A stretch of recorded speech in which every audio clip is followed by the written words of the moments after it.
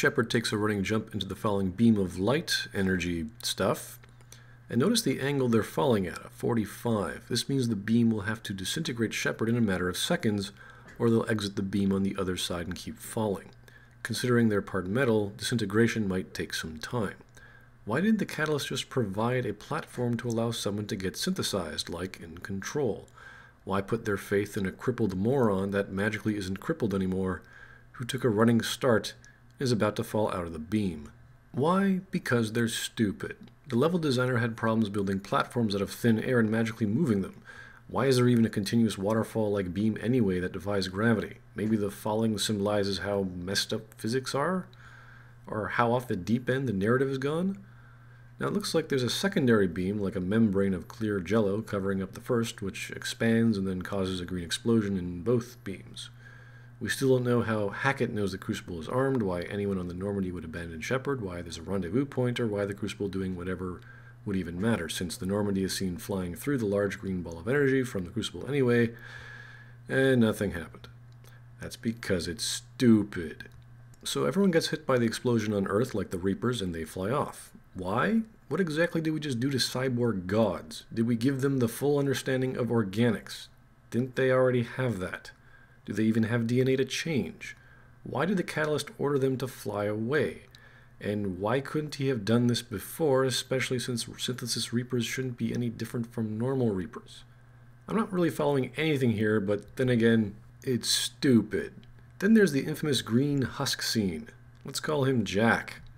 Did we just give Jack the full understanding of organics? Is he now able to kill them more efficiently? Does he want to? Did we give him consciousness as well? Knowing what he knows about humanity's social condition, its sensibilities, its faults and failings, languages, pains and pleasures, Shakespeare, death metal, gangster rap, and then awakened to himself, who is a decrepit, murdering abomination of those things he now understands, is he going to commit suicide? Is he going to hate the Reapers, knowing that they killed him and turned him into such an abomination, now that he realizes what he has lost? Do they even think and feel? Do all Reaper ground forces who are abominations have this knowledge and realization as well? Seems Jack is having a problem standing up. Are you ready to slit your wrists now, Jack, now that you're cognizant that your existence is a shambling, wackling nightmare of murderous, mindless slavery? Do you even have blood? I sure hope Jack didn't comprehend a hundred years worth of Russian literature instantly, because that would only result in suicide. You may think Bioware's just trolling us, but nope, it's stupid. Then Bob the Marine that has that look, you know, that the look the rest of us all have, which we still have when we watch this thing, when we're no longer trying to comprehend whatever the hell is going on, but what Hudson and Walters feel like when they wake up every morning and you realize, hey, these guys have brains and that this DLC is somehow an answer to solving a handful of problems the fans had. The other question is did we just rape the entire galaxy's minds and bodies just because some insane AI thought it felt it could solve a non existent problem no one gets? Because the writers were in over their heads, unable to comprehend their own fiction, and completely disregard their own lore, plot, characters, physics, genetics, computer science, relativity, gravity, thermodynamics, explosions, electromagnetism, Oh, look, the Turians and Reapers are green and have glowing green eyes. Why? That's not creepy at all. Turning everyone's corneas into phospholuminescent green flashlights was totally part of the deal of altering their DNA and making Reaper destroyers glow green, even though they just received a download of the understanding of all organics, which they already had. Yeah, I'm so glad everything's green now. That makes much more sense. Good call there, designers. I can totally see what you guys were doing here. It's like I can feel your rape fantasy from some tree hugging hippie who rambles on about some organic gene manipulation and global free downloads for data of everyone and how they wish their government were cyborg gods who already have the I yeah, I know I have no goddamn clue what's going on. Oh, the Krogans too. Well, there goes the ability to appreciate Wrex's sparkling red eyes. Uh-oh, looks like you'll have to make a DLC to accommodate that fan base of sexually dysfunctional perverts. Oh, right.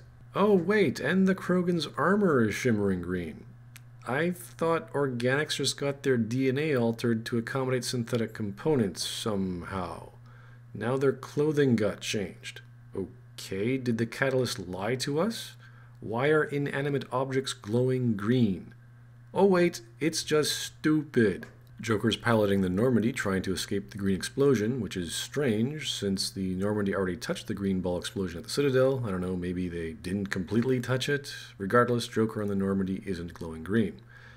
And so plant life has had its DNA changed too. Okay, why? Why exactly did we give plants synthetic components? How is plant life affecting the war between organics and synthetics? Did non sentient life forms get a special kind of DNA change? Do carbon dioxide fixating plants now fixate, I don't know, nitrogen? Would they make nitrogen based leaves? And why is a green plant glowing green? I thought plants absorb specific frequencies of light. And how would they be able to absorb and then emit green light energy when green plants obviously reflect it? So wait, how does that... Oh god, this is stupid! And by stupid, I mean these guys have forgotten the punchline and are just pushing the joke as far as it can go. Here's some basic science. You've got a trillion cells. You've got about 10 trillion cells composed of microorganisms in your body. Link in the description if you want to learn more about that. Interestingly enough, that link also talks about photoluminescence in certain bacteria. So not only are you changing, the organisms in you that help you are also going under a change. That could be the light being emitted from those people's eyes. So, photoluminescence. For some reason, your eyes, which absorb light, which does make sense, alters the bandwidth of it through some unknown medium and then re-emit it, which is going to be very darn confusing when suddenly you're not only seeing the world in green, it's now bright green. You have no choice in the matter. You have frickin' green flashlight eyes. Aside from all the bacteria in your bodies possibly gaining photoluminescent properties, we do know Reapers use nanites, so we could guess that's the medium they're using in causing the light. The question is, how the hell did our DNA manufacture these nanites instantly when our DNA has barely begun to change? It's unbelievable crap on top of more completely unbelievable crap.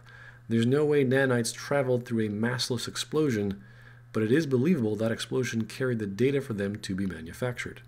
Keep in mind these explosions had to either reprogram every cell in the body near instantly or in stages. The beam, in order to be believable, must work on some subatomic level or even further, and somehow identify organic material and then DNA and then start changing it, and possibly other forms of life which another form of replication is based on, and not sugars and phosphates, which says nothing of it detecting a running software program, let alone hundreds of them working in unison figuring out it's so sophisticated enough to be considered intelligent, whatever that means, and then somehow give it the complete encyclopedia of all living things ever.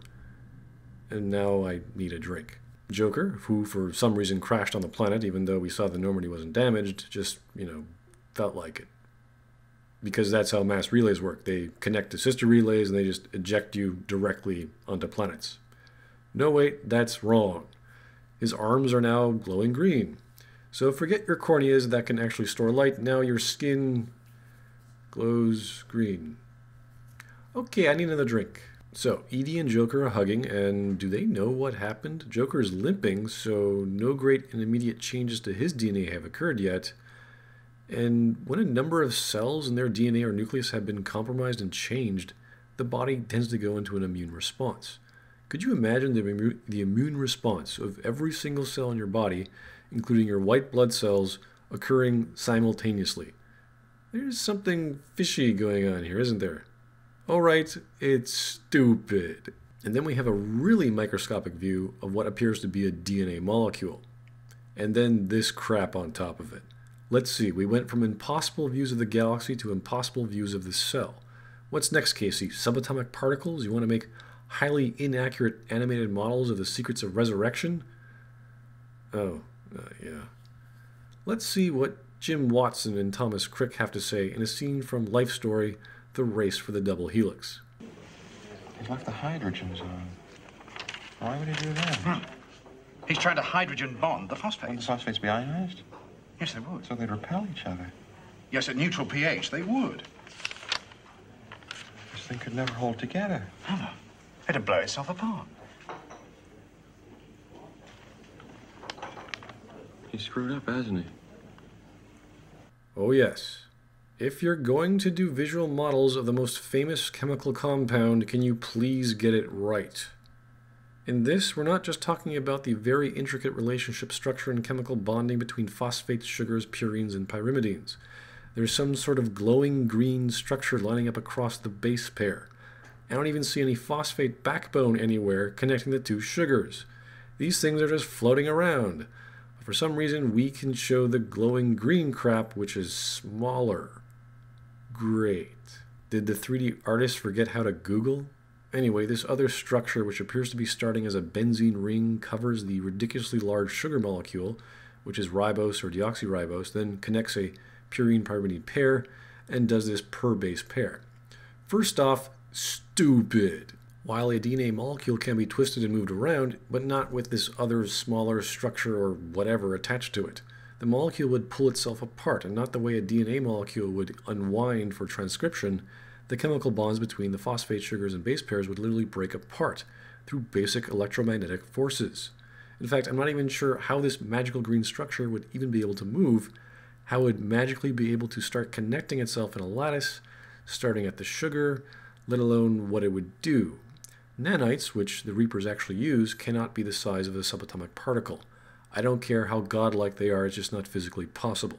A nanite may be as small as the size of a cell, but not the size of an organelle and not the size of a sugar molecule. Were any genes actually altered? I thought we were changing the DNA of organics to accommodate for synthetic components, as in manufacturing them, so maybe some form of inorganic synthesis instead of protein synthesis, like, I don't know, using aluminum atoms, and not adding some sort of impossible structure on top of the DNA molecule. How the hell is the DNA molecule going to unwind for transcription with this magical other thing on top of it? Is it a scaffolding? What does it do? How does it work? You can't just put fancy crap on the screen and expect us to buy it. Any first year science student would laugh at you. So EDI says some stuff. They now bring us the collective knowledge of the cultures that came before. And why are we accepting the Reapers? No one likes them. They just blew up homeworlds and now it's okay? Oh look, my body has been raped. Far as we know, you're the ones responsible. Hey, giant destroyer reaper that killed my friends and destroyed the city, let's rebuild a frickin' coffee shop together. And how the hell is a destroyer reaper building, rebuilding anything? Walking around on streets would put giant holes in the pavement. It can't do any heavy lifting because its four legs aren't designed for that. It's designed to destroy. Stupid. Let's also not forget it's still walking around and indoctrinating everyone. But that's okay, because we're probably already mind raped with this green crap in us. As a galaxy, we can now live the lives we have wished for. As a galaxy, we can what now? Is EDI talking for the entire galaxy? Because the lives of individuals that wanted to live didn't involve wanting magical green crap in them or have murdering, mind controlling giants helping us somehow rebuild Starbucks. And by helping us, I don't mean by having them stand around and tell us stories of how to better mix concrete from the dead civilizations they have in them. That sounds like some kind of hellish slavery. No one, and not the entire galaxy, wished for that. Unless we are now officially mind controlled and indoctrinated, and everyone's just hunky dory with his nightmare going on. Oh, yeah, everyone looks so chic with that green veneer across everything. Can't wait for tomorrow's next top fashion. Well, maybe the Drells do and more useless and disturbing pictures. And then we have a picture of Kasumi and her boyfriend. Can we make blue holograms now? Is this normal for our Omni tools to change color on us? Is Keiji solid? Are we seeing her dream? Is this Star Wars? Is she falling even further into her obsession over her dead boyfriend? Taking our first steps into a new and wonderful future. Okay, uh, Geth get glowy green lens flares, which has always been not very annoying, of course. But I guess Miss Quarian loves a giant light source in her eyes. Wait, wait a second. They did a 3D model of a Quarian female with her mask off. And many people really, really wanted us to reveal what she looks like under her mask. And on the other hand, you know, with things that are mysterious, um, you don't really want to destroy the mystery. So you can show a nameless Quarian her face, but not a side character. Hmm.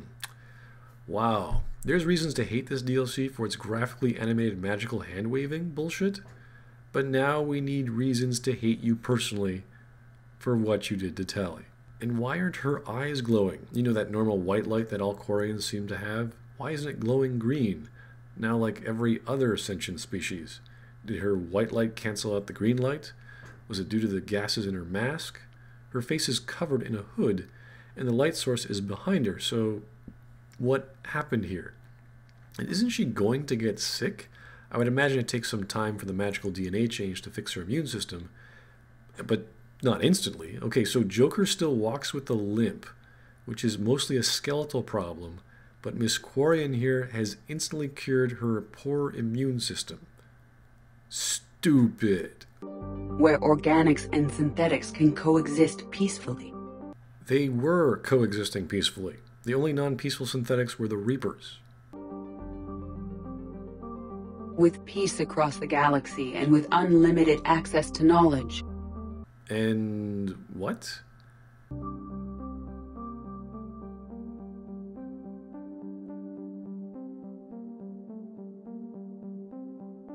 To recover the greatness that was lost. Well, sorry, Mac, that's not a sentence. There's no noun. Peace across a galaxy, and with our powers combined, we shall uncover the greatness that was lost.